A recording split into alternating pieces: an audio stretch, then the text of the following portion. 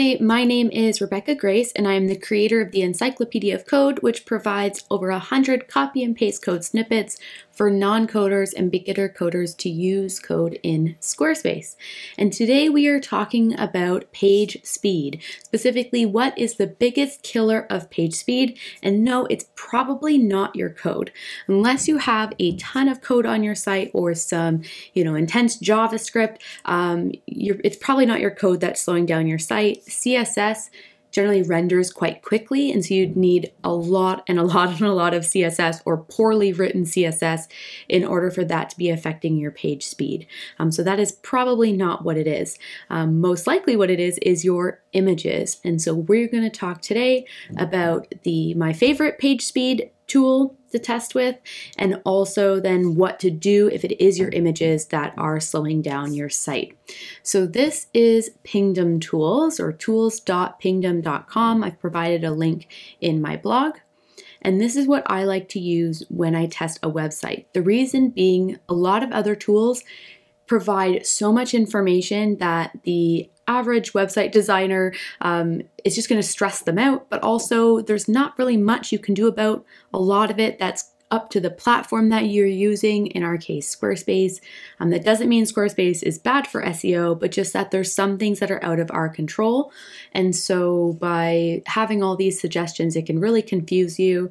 Um, and so I like to use Pingdom Tools to do this test. So the first thing you're going to do is go to Pingdom Tools and you're going to type in a URL to test that page's time. So if you type in your home page URL that's only going to test your home page. It doesn't give you sort of a overall look at your whole website. It just gives you um, a look at your home page. So you'll need to put in all of your URLs or at least the ones that you feel are loading slowly and look at it page per page. So for instance, let's just look at Google's. We're going to put that in. You can test from different locations and just click Start Test.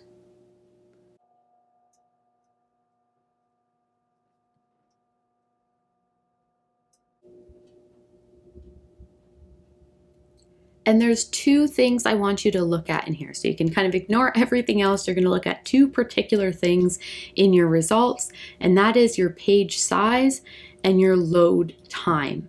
The best thing for page size is to keep it below 500 megabytes.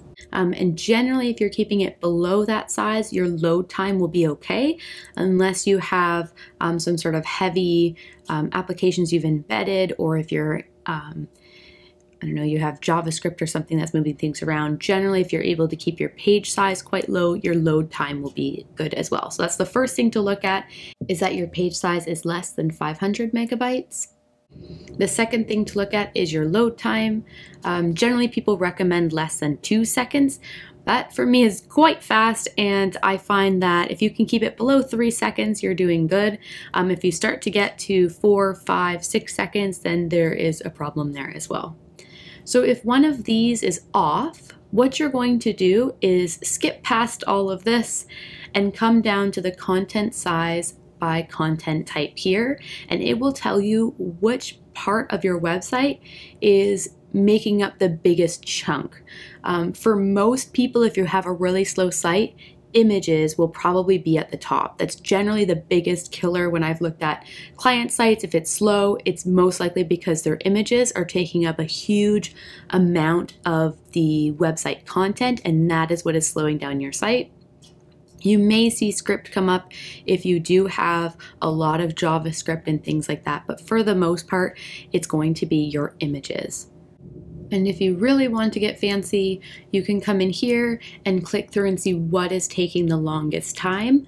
Um, some sites like Google and stuff have hidden this from the public, um, but your site will probably be open and you can click through and see what is taking the longest time to load. It might even give you specific images or links that are holding that page back.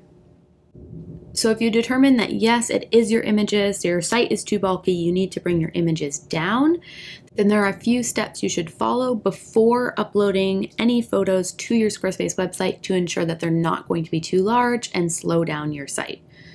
So the first thing that you're going to want to do is to open up your image. Now I'm working on a Mac. If you're working on a PC, it might be slightly different. But I'm going to open this image and I'm going to go to Tools, Adjust Size, and in here I can see the height and width in pixels of my image. Now I've already made it 1500. My recommendation, if it's a banner image or a background image, um, you can go maybe up to 2,500 pixels on the longest side, um, but most images I keep to 1500 and they're perfectly fine in terms of resolution. But if you have like a face or something like that in it, you want it to be, you know, super crisp quality, you might want to go up to 2,500, but you don't generally need to go larger than that unless you are a photographer or something like that that you want to make sure it's really, really crisp. Otherwise, 1500 pixels is probably fine. Then down here I can see how big it is. So it's 241 kilobytes. Um, so the general goal is to keep it under 500, um, but even if it's smaller, I still like to compress it. So once I've changed the longest side to be about 1500 pixels, I'll click OK. And then I'm going to go to compressjpeg.com and I'm going to drag it in here. It's going to compress it for me and then I can download it. Okay, and if we look at the size now, it is now 206. It was already quite small, so it didn't compress it too much, but again, I, I want it to be less than 500 kilobytes. I'm also going to name it something using my keywords, and this will help with your SEO as well. So don't just name it, you know, JPEG 12345. You want to make sure you name it using some keywords, and then it will be ready to upload to your Squarespace site. So you're going to change the size of the height and width, then compress it and name it, and now it is ready to upload to your site so that it is not going to slow down your page and harm your SEO.